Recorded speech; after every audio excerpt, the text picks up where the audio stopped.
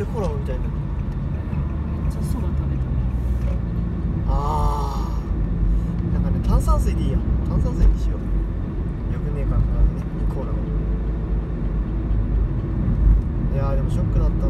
遺伝って言われたの。炭酸水買わなきゃ遺伝って言われたのはちょっとショックだった。うん。すげえ先生がもう苦しそうになりながらも教えてくれたからええそうそうそうそうやって大体わかるでしょ。このあすこれでこうこうだこうなります。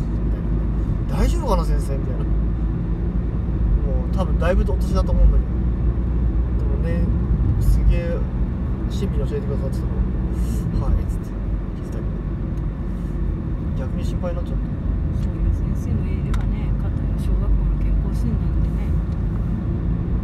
なんかあったよね。うん子供たちの陰成長してるかチェックしたみたいなことでインタビューしてたけど気色悪いかったんだけど全てにおいて。あ捕まったのそれ。いや捕まってないよ。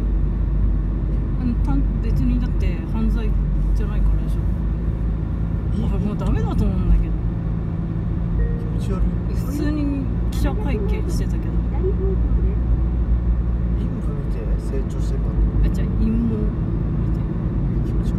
悪い。えそんな検査なんてある？てないよ人を下ろさせすぎだからえそれに疑問を持った子供がそれを親に言ったから親がそれをどう見たってもうそれもう犯罪じゃんって話になって話がこうなったんじゃない学校に行ったから。うん俺そんな検査聞いたことないけど。いやあと触ったりとかしたんでしょ？気持ち悪い。え気持ち悪い。触るってさ聴診器当てた時にこれぐらいしかないよね。いや聴診器だってないでしょそんなあの盲腸だったらわかるけど。そんなん違うあでも子供の頃でもなんか肺喘息とかなんか肺の肺のやつとあれだった時この辺の肺